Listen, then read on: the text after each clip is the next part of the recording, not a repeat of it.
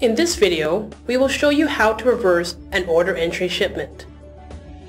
To reverse an order entry shipment, you need to first create an invoice for the shipment to be reversed by selecting the shipment in the shipment number field.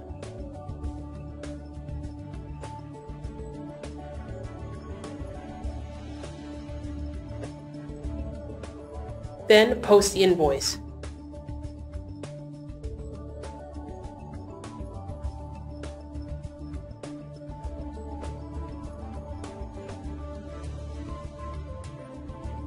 We will then want to create a credit note for the invoice by going into OE transactions, then credit slash debit entry.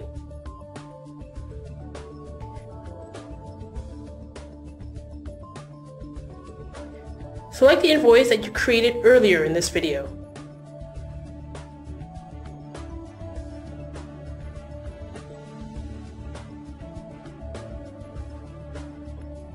Then post the credit note.